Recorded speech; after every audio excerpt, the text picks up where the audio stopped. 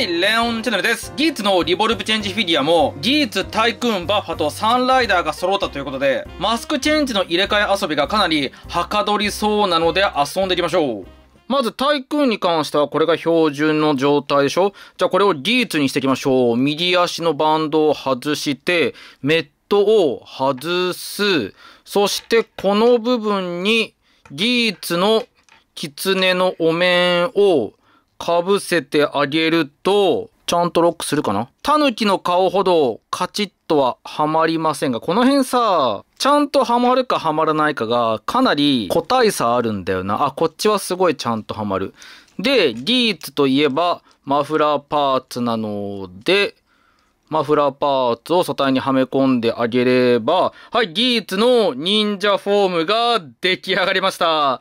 こんな感じであっという間にギーツのバックルチェンジが着せ替え遊びできると。こんな感じで動かせると。いや、こりゃすごいよね。お手軽。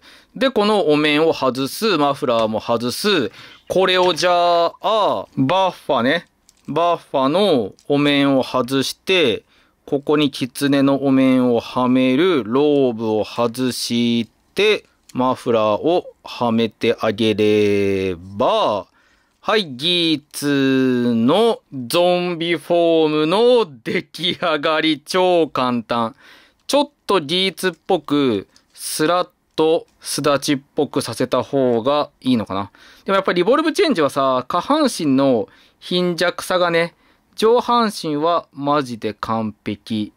お面が狐に変わってて、マフラーもついてると。じゃあ逆に、マグナムブーストに、タイクーンね、このまま差し込んであげて、バンドをはめてあげれば、はまってる？あ、ちょっと浅いな。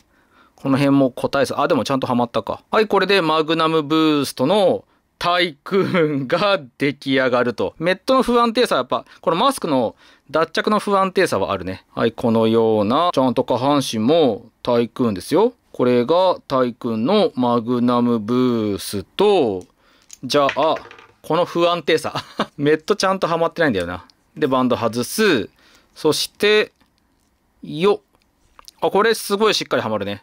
バッファのお面とローブをはめてあげれば、打撃武器として銃を使う状態のマグナムブーストのバッファーが出来上がりました。こんな簡単にメットチェンジでこんな雰囲気変わるっていうぐらい全然違うキャラクターになりますよね。これじゃあ、ひっくり返そうか。ブーストマグナムフォームにしてあげて、はい、この状態から、じゃあそのままゾンビじゃなくてバッファーはめましょうか。で、ローブもこうすることで、ブーストマグナムフォーム完成で、なんならここを外して、普通のエントリーの下半身を持ってきて、単純なブーストフォームにすることもできますね。はい、バッファーのブーストフォーム、出来上がりでしょじゃあこれ外す、これも外して、バンドはめる、さらにタイクーンのメットをはめてあげれば、ブーストに愛されし男。メットがちゃんとはまんないな。タイクーンのブーストフォームも問題なくいけると。ブーストマグナムもやってみる？ブーストマグナム。ブーストマグナムのタイクーンってあったっけ？全部はまるからすごいな、どのフォームでも。はい、ブーストマグナムのタイクーンね。なんなら、これこうして、で、バンドはめて、さらにローブもはめて、で、マフラーもはめて、みたいな、サンライダー分の要素全開みたいな、こういう妄想遊びもいけますね。でもやっぱ、赤白系のボディはギーツと雰囲気合うな。じゃあさらに、忍者はい、このような、ああ、かっこいいね。忍者、ゾンビ忍者の技術にしてみたり、じゃあこっからひっくり返しますか。マフラー外して、顔のロックも外して、リボルブオン。で、回転。これが足になる。足になる。で、つま先の位置がね、ちゃんとここ、いろいろ変えられるんですよね。で、アーマー持ってきて、ここの歯車もちゃんと中に入ってからアーマーをかぶせるみたいな、細かいな、各パーツが。